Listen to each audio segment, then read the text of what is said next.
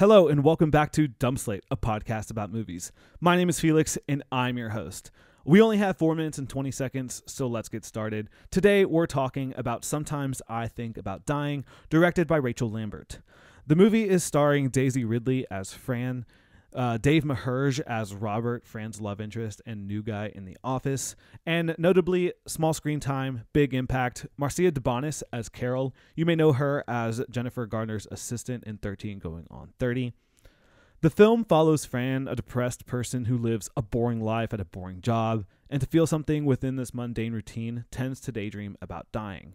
But when she meets Robert, the new guy in the office who replaces Carol after retiring, she struggles between finding love and her own issues. I actually heard about this film uh, earlier 2023 as it released at Sundance that year, but didn't publicly release until this year. Um, I found it on Mubi where it was like the first week I was subscribed to this new platform and instantly pressed play when I saw it, and I was so happy I did.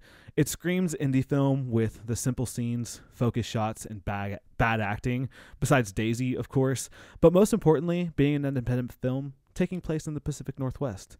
While the film is sad and depressing, it is overall a comedy. And while there are scenes of Fran committing suicide, you don't see the suicide happen, if that makes sense. It's artistic, it's unique, and accompanied by what sounds like Disney music each time for a little twist.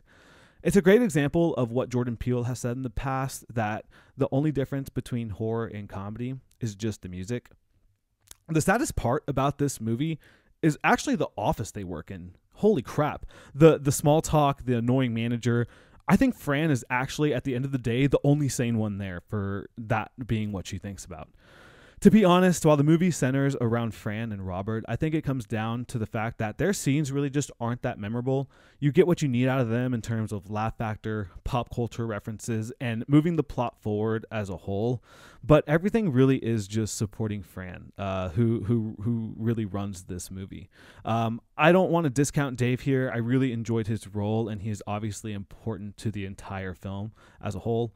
But my favorite scene does come in the third act when Fran runs into Carol. You almost get a thriller like aspect of the film for just a second, and the scene makes the largest impact, uh, in my opinion. I really loved the cinematography, the use of lighting and shadows and mirrors for a lot of perspective uh, feeling in certain scenes. Uh, the music was fun, but most impressively was the use of silence, especially at the beginning of the film. The fact that you can be so brought into a movie without the main character talking for the first 20 or so minutes is quite impressive. Now, on to the important things. Uh, again, all ratings are based on Letterboxd. Uh, I am actually going to make a video reference soon about how I rate and what each rating stands for. There is criteria. I take this seriously. Anyway, my rating 3.5, which falls under a must watch. It did skew four for me, but I really needed to let out my cranky critic on this one and stuck with a 3.5. Average rating 3.6, so really in line. Um, uh, again, a must watch. And for my favorite Letterboxd review, we have uh, Tom, uh, who goes Daisy Ridley fell into the trap of dating a Letterboxd patron user. Um, this is a great comment, uh, and it really hurts. Uh, patron users are the highest level of subscribers at Letterboxd, which I am. Tom obviously is not because he only gave this two stars, which is criminal.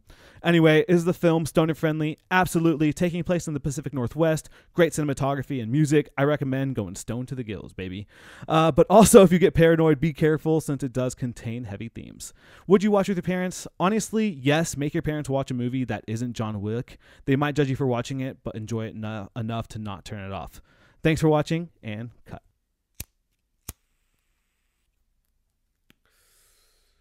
We're literally smoking and talking about movies.